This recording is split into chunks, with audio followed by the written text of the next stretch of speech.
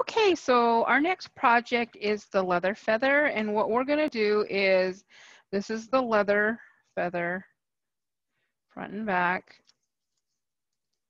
And here's one as well. You can do different colors. Um, I put a teepee on because I wasn't good at um, blending here. And that's what I'm gonna show you how to do today is how to blend. And here's another one. Okay. So what you want to do, I have all my paints, my brushes, everything um, was included in your packet, so you should have that as well. Um, I tried putting a white paper underneath here and it didn't really um, work out that so, so great, so I'm going to try not to get it on my desk. So what you want to do is you want to start out with a lighter color and um, you want to brush the paint on, of course.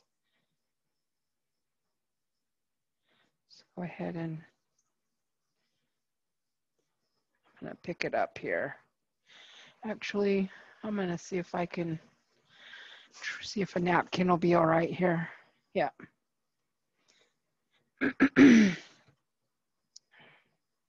so you can go down, um, say I want my black to be below that. So you kind of just eyeball, you can go as far as you want or as high as you want. Um, okay, so put that on there evenly, their white paint. And when you do this, you want to make sure that you do the sides here and the back. So you're going to be, you're going to have to paint the front and the back. The front doesn't have to match the back. You can have different um, colors on the back. It's your feather. Be creative. I'm going to grab some more white paint here. So just be creative. Make sure you cover everything. Looks like a different white, but that'll work. okay. So normally when you're in class, we would have you um, make this uh, this the middle of this feather and then also the hairs on the feather. You would you would do that here in class but since you guys aren't in class um, we had to do those for you. So you kind of miss out on um, using leather tools introduction to you know leather doing leather work a little bit and um, having fun with that. Some some people find it easy to do, others find it not so easy to do. That's how I was when I first started doing um, using the leather tools. It took me a little bit, a little while, a little time to um, get used to doing them. And then also blending. So some people will find blending easy, some won't. Um, usually I'll have the front dry and then do the back. But since time is of the essence here, we are going to start. So I have a few brushes. If you came in and picked up your packet, you could have picked up a few brushes as well. Um, you start doing your black. Okay. So again, it doesn't matter how far. You can um, bring the tips up on the side. You can make kind of really want your white to um, dry, but doesn't really matter. Um, and again, make sure you get the sides. So before we go on to the other side, what I want to show you how to blend here.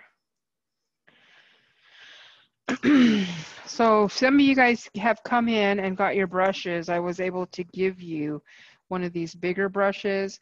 There are brushes that have um, thinner or uh, thicker um, that are coarse hair.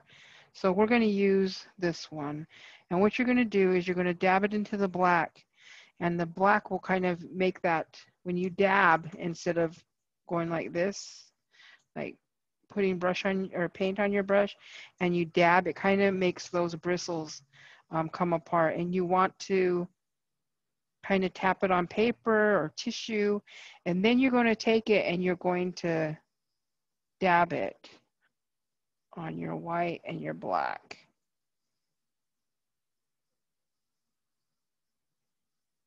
And eventually go on up. And it kind of gives that blend look where I have this white here. It's okay. Because you'll just go back, grab a, a lot of the black and go over that white.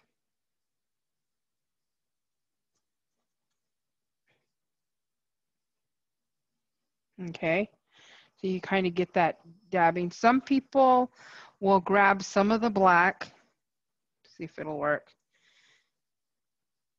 and you you grab a hold of it and you're going to flick it.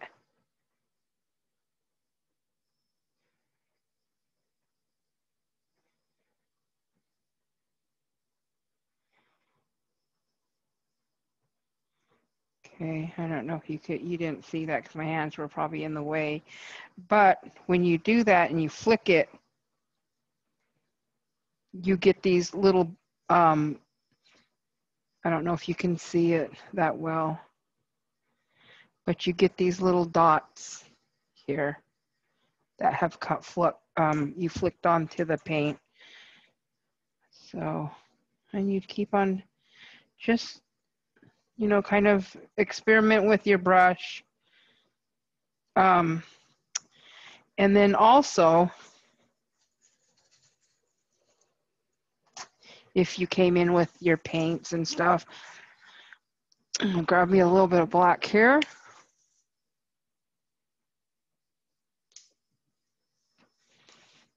Um, you can also go to Walmart and get these um, colors that you want for like 70, 76 cents or something. You can also take a line and whoops, draw it straight down. Sorry, that wasn't that, that straight.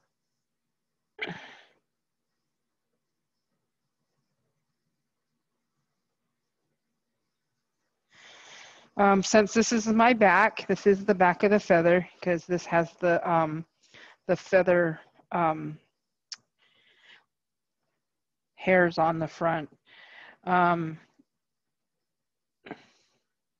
I also, instead of coloring, I also make a feather or a teepee, which a lot of students like to do as well. It's just a triangle.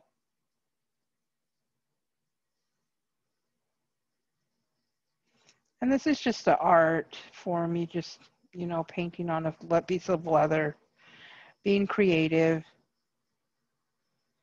So we got that. And then what I usually do is just um, make a V, a thin one, and another thin one. And then bring that down. And then just fill that in. And these are those teepee flaps.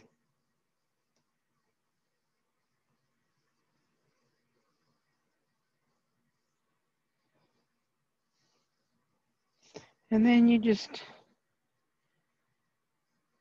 maybe bring a couple of sticks down.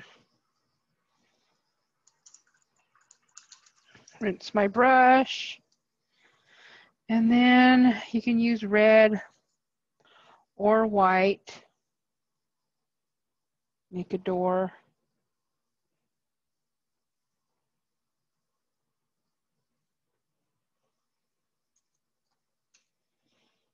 And um, can make three dots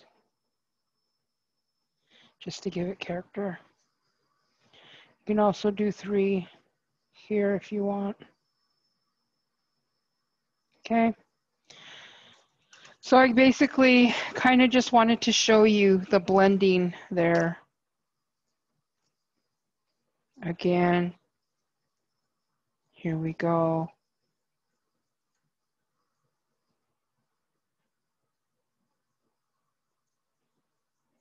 You want to make sure your whole feather's covered. Again, get that lightness, that blending. As you can see, remember how we had trouble with the back because it was, um, the white was still um, wet. This is a little bit better. Again, you can also take some paint, grab the bottom of your brush and whoops, that one went a little bit too much, but that's what will happen. Which is okay, gives it a little character there.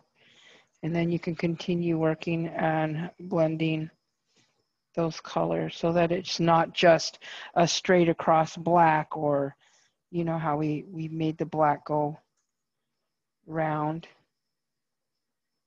You get more of the blending in there. So trial trial and error there. Um, it looks all right make sure you get the the sides there so that it's fully covered. And there you go. Um, I would also put the dots in the front. Another way you can do them, grab the end of your brush, dip it in your paint, and one, two, three. Okay. So there you have it. There's your feather. Let that dry. Um, I'm not sure if our little helper put um, holes in yours. If not, um, if you find a pen, you can stick it through there, make holes, get a pair of scissors and make, make some holes. Um, so there's that. So now I'm gonna show you quickly, just let move that aside and let that dry. Um, for the other part, grab a tissue here. So for this part, what you want to do is you want to make sure that it's sanded because what what what the sanding does, it helps the paint adhere to it. So just run that across.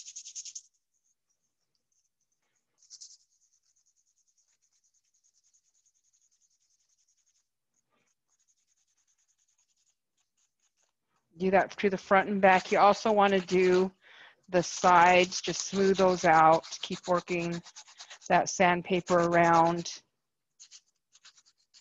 Whoops, sorry. Sometimes I think I'm on camera and I'm not.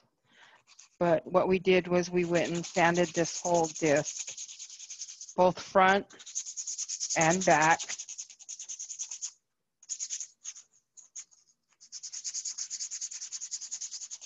It doesn't have to be like totally sanded, just as long as it starts looking white like that. That should be pretty good.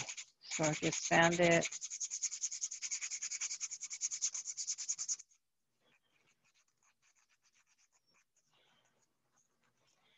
Okay, sometimes I put it on the table. You have a little bit, a little bit more control. You can turn it to the side, sand it like a wheel keep going around in circles on that. It's pretty easy. So on the feather, when you start making those um, lines, you, you, usually use a stylus, a beveler, and a hairline um, shaper. And then you cut it, cut it out to your feather shape and it becomes, you know, your own creation of creating your own feather.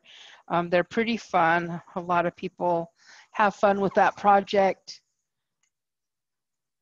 There's so much that you can do with it. So I sanded my little feather and then um, what I've been telling students to do instead of, um, you can you can do anything with this um, from doing the medicine wheel, which I'm going to show you how to do, um, to something like this. Okay, it's kind of supposed to have that quill look. What I would do is just split this into fours with a pencil, just something light. And um, just kind of make it, eyeball it, make sure that it's kind of even. Might be a little too high there, right across this little eyes there, okay? So this one's pretty easy, you guys. Um, definitely want to start out with the light color, white, of course. Um, I was, our, where we're from in areas, there's no wrong or right.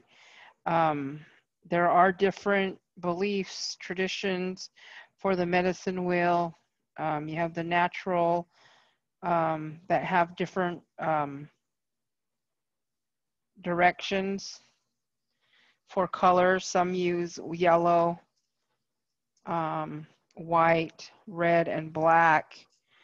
Um, I always learned that it's white, yellow, red, black for the youth, or um, infant, youth, adult, and elder. So split those in half again. You know, so it's if you have different colors, even some people sometimes you use um, blue and green. This one, I'm just using the four colors.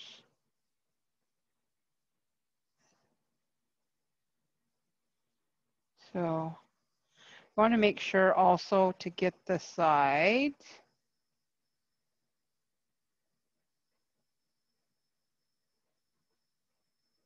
Okay.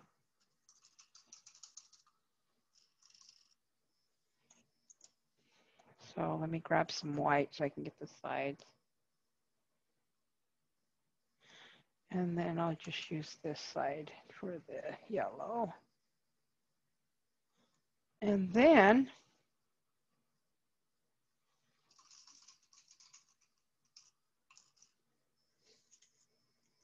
then I'm going to grab some black here. And it's my last color, so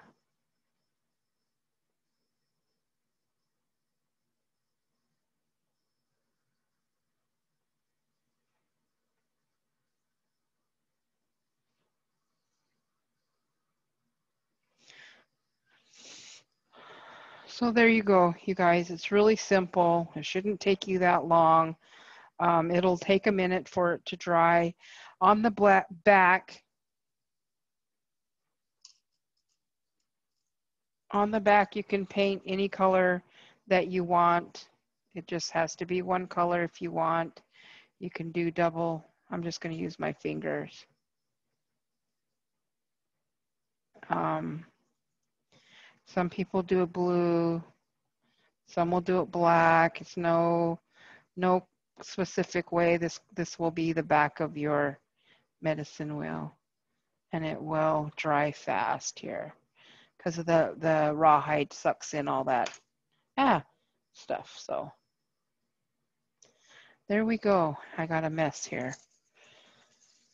So once you get, once you get that done and on, You're going to take your string and you're going to thread it from the front to the back here. So I'm not sure. So let me take this off real fast. And I'll show you what's going on here. So we'll move this aside. So basically your feather should look like that at the beginning okay, when you're finished um, painting it. And you should have gotten a, a string like this in your packet. And what you're gonna do is you're gonna take your wheel and through those holes, you're going to thread your leather piece through like that. There you go. And then you're going to thread that through your feather again. I noticed that some of them didn't have holes, but if you have an awl or um, something sharp that could make two holes, or you can bring them in when you pick up your packet and um, we'll put holes in it for you. And this is all it is, everyone. Um, you have this piece here that can bring out, you can also get another piece of leather and put that in there and pull that through. So this leather just kind of dangles there and you can also tie that into a little knot. And then you just tie these two, you just tie those together and bring them around so that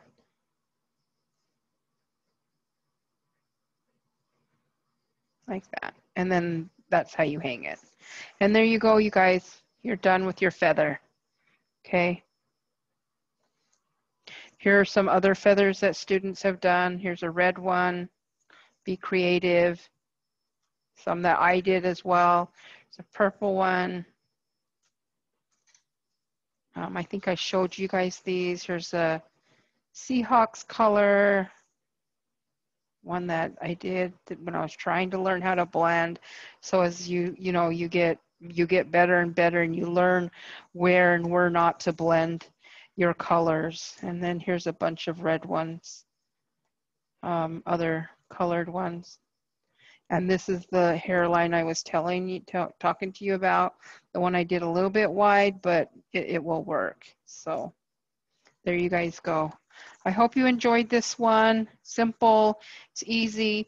If you want to wait, you want to put some beads on there. When you come in to get your packet, you're more than welcome. Ask me for some beads. Um, we have supplies. Um, we have a lot of, you know, um, leather strips if you wanted to do, you know, put more on. If you want another feather to do, I do have a few um, feathers. Um, sometimes they do look a little better if you did two feathers and um, fuse those together like that. Oops, where's the camera? You had two feathers and you fused them, you or you know tied them together so that there's two together. So um, yeah, so enjoy. I'll see you at the next um, class and um, good luck. If you have any questions, email me or text me. Have a good night.